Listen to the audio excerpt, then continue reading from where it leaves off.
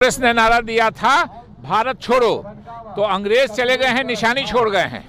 तो तो निशानी भी अपने ही देश के लोग हैं। तो हम तो इनको भारत छोड़ने के बारे में कह नहीं सकते हैं। तो इसीलिए कह रहे हैं कि नफरत छोड़िए और भारत के आपस में मिलाइए लोगों को, अंग्रेज़ों की तरह भारत को तोड़िए नहीं।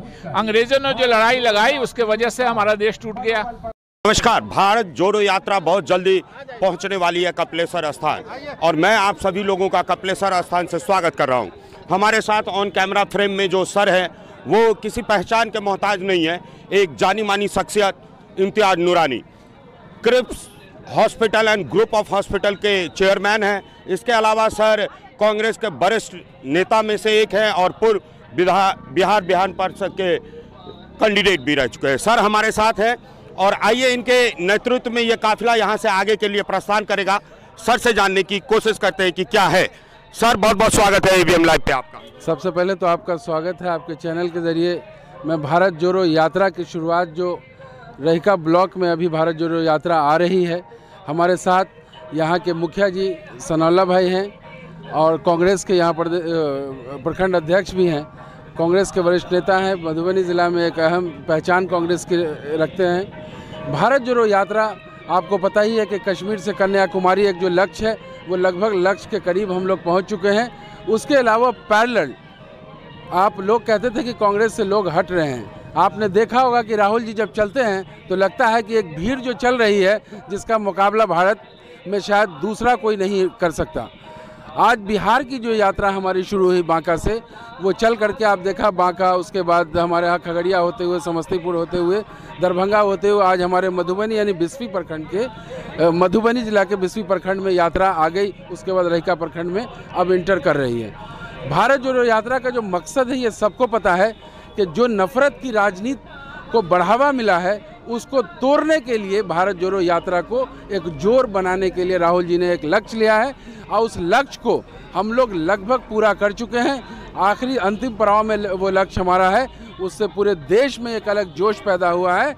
लोगों के अंदर एक उम्मीदें फिर से जगी कि जो जिस भारत को नफरत के ज़रिए बनाने की बात करते हैं, उस नफरत को ख़त्म करके भारत को जोड़ने, भारत की एकता और अखंडता को बचाए रखने की जो एक लक्ष्य कांग्रेस पार्टी ने ली है उस लक्ष्य को हम लोग पूरा करने में पूरी तरीके से सक्षम है और उसमें कामयाबी हम लोगों को मिल रही है और भी आगे मिलेगी। निश्चित रूप से जो माहौल दिख रहा है जहाँ पे आप चीज़ों को देखोगे तो आपको हर स्टेज पे ये दिखता हुआ लगेगा कि एक ऐसी प्लेटफॉर्म एक ऐसी शुरुआत जहाँ से कहते हैं कि नई शुरुआत हो रही है। हमारे साथ वरिष्ठ सर गार्जन स्वरूप भी है। क्या सर इसके तहत क्या एक मैसेज है बींग अ जनप्रतिनिधि? देखिए आज भारत में ऐसी राजनीति चल गई कि एक भाई दूसरे भाई का दुश्मन बन गया है।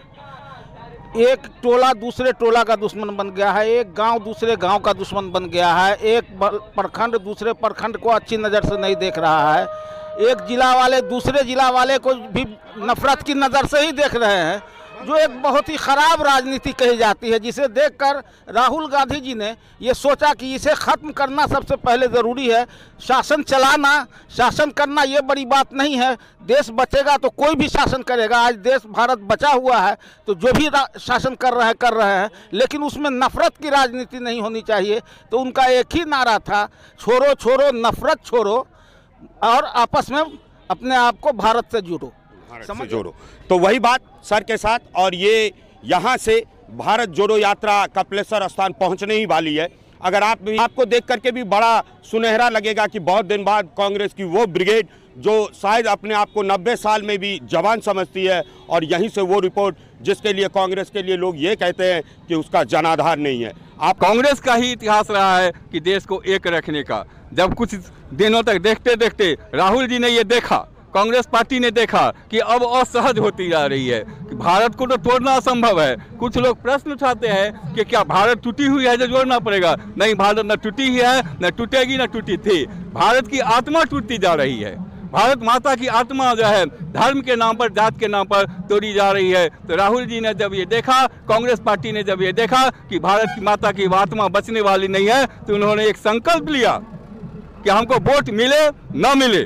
मेरी सरकार बने न बने, उससे कोई बहुत मतलब नहीं है। क्योंकि भारत माता को बचा के रखना है। भारत माता जब बचेगी तो कांग्रेस की सरकार थी तो कांग्रेस की सरकार आएगी, और लोकतंत्र में कोई भी सरकार बना सकती है। चाहे किसी भी धर्म के लोग हों, किसी भी जात के लोग हों, गरीब हों, गुरबो हों तो इस चीज़ को जब राहुल जी के लोग को सोचा भी नहीं था, और सारी पार्टियों में बौखलाहट इसलिए है कि लोग सोचा नहीं था कि राहुल जी के साथ इतने आएगी लोग। लेकिन आज जब आप मीडिया कर्मी भी देख रहे हैं सारे लोग देख रहे हैं तो सारे पार्टी हतप्रभ हैं।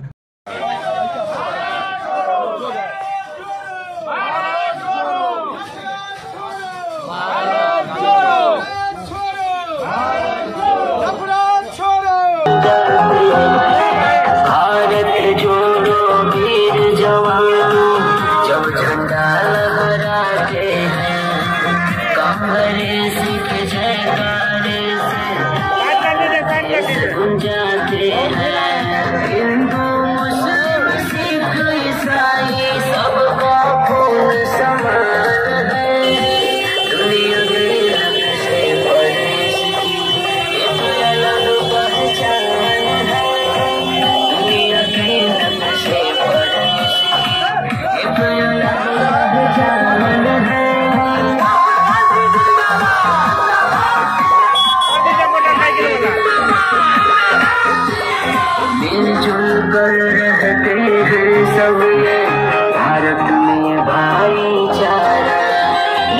执着